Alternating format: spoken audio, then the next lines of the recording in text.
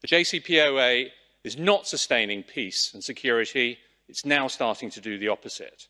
The only way to keep nuclear weapons out of Iran, restore trade, free political prisoners and support human rights is to restore friendships in Washington, not Tehran.